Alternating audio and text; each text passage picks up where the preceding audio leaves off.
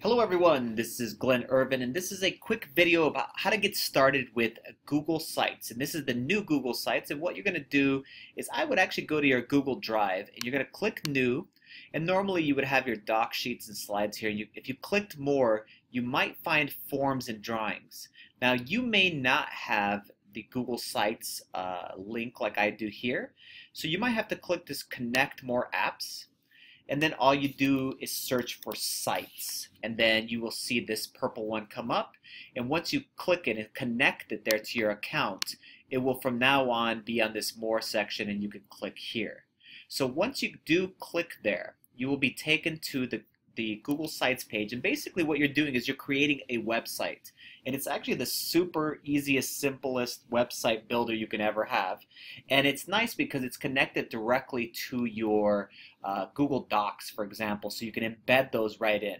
Um, so it's super simple to go ahead and do some things. The first thing I'm going to show you is basically like what you want to do is change the name of your site. So I'm just going to call it uh, Glenn Irvin my name uh, you call it probably whatever your English class or whatever you're uh, using it for here. And then right here, you're going to go ahead and give your website a name. So I'm just going to say my website, something generic like that. And I might go ahead and take a look at the design aspects of like changing how this looks because right now it looks pretty generic. And so I might click over here where it says change image and it says select an image. You can upload your own images, though they have to be sized pretty well in order for this to work. I usually just select an image, and they have a variety of, of all kinds of cool stuff here inside the gallery. I'm going to choose this one and just select it just so you can see what it kind of does. So it changes all of kind of the the different aspects and colors there. The other thing you may want to go ahead and do is over here on the top right hand side is change the themes here. And what that does is it changes like the fonts that you're going to have available and the color schemes. So right now it's on simple. I'm going to click this Aristotle one and you can see it changed the way the fonts look. The Diplomat looks like this, the Vision one looks like this, the Level one looks like this.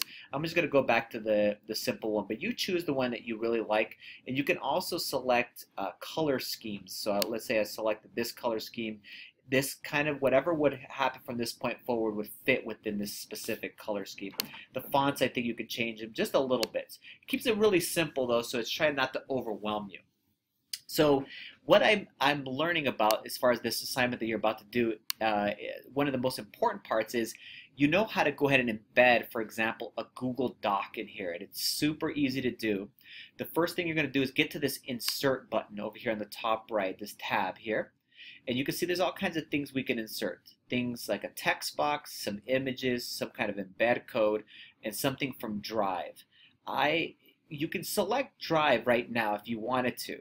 Or you can scroll down and you can actually find Google Docs right here. So I'm going to select Docs so it only brings up things that are actual documents so that I can choose one of those and then embed it right in there. So for example, if I had this inquiry guide uh, that we're using here for study skills, we're going to just select whichever it is that the document that you're working on. So if you had a blog, for example, that you created, you should find it here. If you can't see it here, then just search for it, obviously, there. And once you find what you like, you just press insert and it's going to throw it down in here. Now, one of the things I'll let you know right away, actually, it inserted quite a few things there on mine. Um, one of the things that I'll let you know about this uh, process is that it kind of only throws in the top part of the page, but you can adjust all of this stuff here. So if I wanted to make this bigger, this page, and I wanted to say, oh yeah, I need this to be displaying bigger, I can change the size of that very easily uh, by grabbing the sides here and then dragging it down. Let's see if we can go and make that happen right now. Let's see. There it is. So I just double clicked inside of there and then these uh, this toggles came up here. So I can make it about the size of what I would consider to be a page. So let's say I wanted it to be about that big. So now you can check out that it kind of appears there below it. Now what's awesome about uh, these Google Sites is that right now it's I'm just in the in the working process so nobody can see this. I could share the ability to be able to edit this page by clicking this little person right here. So example, if you wanted to go in and share that with one of your teachers, you could click share with others here and then type in their name there if they are working like uh, with you. Or you could also preview of what this is actually going to look like once you publish it. So we don't want to click publish yet. We want it to get, okay, what does it look like on a web page? Let's click this one. And let's just see what it's going to look like. And this is what our web page is going to look like. So you see kind of the document is being embedded right here. It even gives you this ability to be able to pop it out to a new tab if you wanted to. So super easy and simple. To get out of this view, I just clicked a little X here to get back to the editing view. So Last thing I'm going to show you is what if I want another page here? So websites are built upon a home page, and then other pages are linked to that home page. Um, so let's try to do that right now. Let's say your, your next page was actually you're going to create a thing where it says blogs. Okay, so I'm going to say I want to insert something.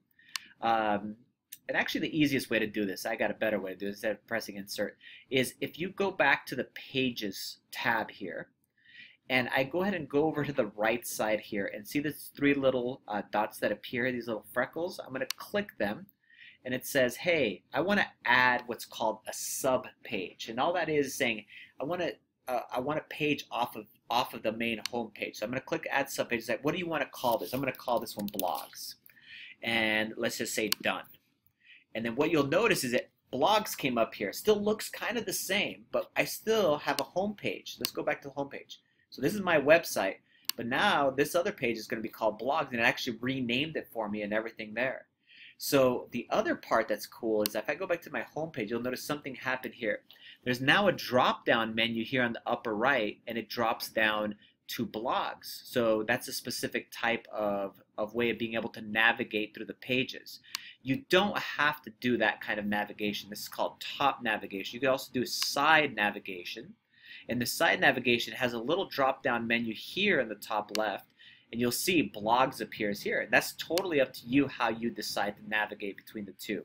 All I did is click the gear and say either I want top navigation or side navigation. You decide which one fits for you.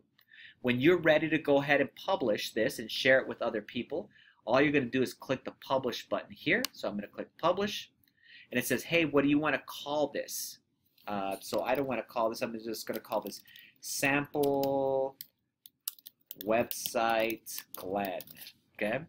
And then I'm going to say, who can view this site? Anyone at ISD 47, we can keep it within ISD 47, or if you want to have people out in public outside of the ISD 47 accounts, you can change this by saying, hey, I want anyone to be able to see this you know out in the world. So anyone can view this published version if you want to go ahead and change that or if your teacher says that that's okay to do that okay? But for right now I'm going to keep it within ISD 47 I'm going to press publish. You'll notice it already tells me hey your live your website's going to be live at this address right here so sample website Glenn I'm going to publish and then that's it. Now that website, once it gets loaded and published, it's going to go ahead and appear actually for anyone that's in the ISD 47 uh, you know, web uh, address. If you have any questions, uh, let me know. Adios.